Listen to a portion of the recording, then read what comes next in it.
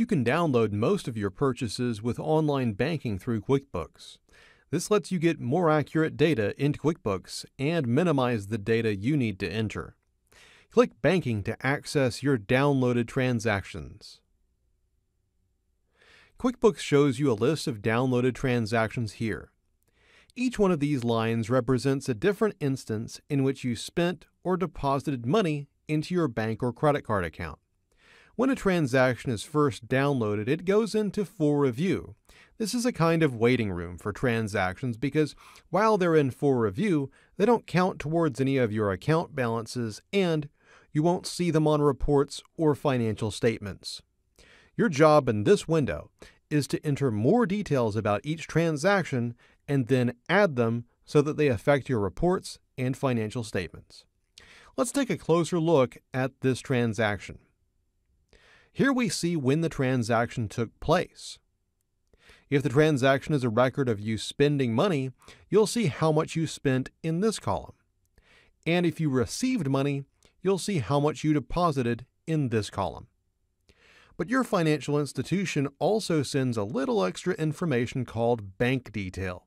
This usually tells you who the transaction was with. It's usually a good idea to enter a payee if QuickBooks doesn't do it for you automatically. The company we paid isn't on any of our lists, so type its name into the payee field and click Add. Then click Save. Notice that QuickBooks adds the same payee name to other transactions further down the list that were with the same vendor. Right now, QuickBooks thinks this transaction is for other business expenses. It's usually a good idea to be more specific than that, though. These categories appear on a special list called the Chart of Accounts. Don't let this accounting term confuse you. It simply means your list of categories. Select an account or category that best describes what you paid for.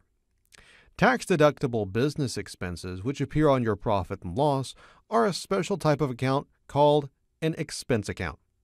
But occasionally you may need to record the purchase of a new vehicle or some equipment, which is a fixed asset type. Or you might make a payment to the owner, which you record with this equity type account. If you don't know how to categorize something, ask your accountant, but in most cases it's quite straightforward. For instance, we paid for office supplies, so we'll use this office supplies expense account to categorize it. QuickBooks assigns the same account to other transactions with the same payee. If you don't want QuickBooks to do that, though, change the setting here. If you download a transaction that you've already recorded manually, the button here will read Match instead of Add. That lets you match a downloaded transaction to a transaction you've already recorded manually. This is a new transaction, though, so click Add, and the transaction goes into QuickBooks. We can look it up just like any other transaction. Click the search button, and here's the transaction we just added. As we recorded that transaction, QuickBooks memorized all the things that we entered and applied them to other transactions from the same vendor. You can still click in the field and override those details though. But we don't need to, so we'll click Add. Now we've added a second transaction and barely had to do anything at all. Anytime you spend money with an electronic funds transfer, debit card, credit card, or really anything that's not a check, you can download it directly from your bank or credit card company and add it into QuickBooks.